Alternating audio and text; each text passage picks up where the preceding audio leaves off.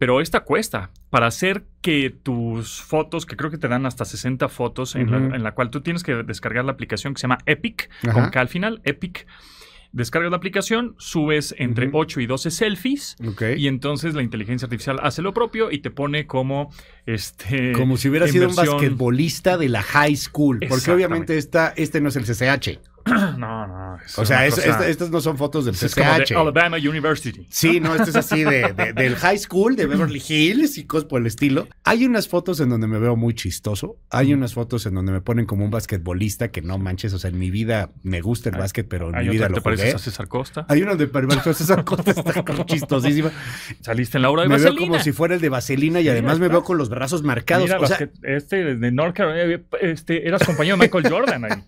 oye, pero el problema es que estos filtros yo creo que sí afectan mucho a, a gente que siente que se llega a ver así. Sí. Tú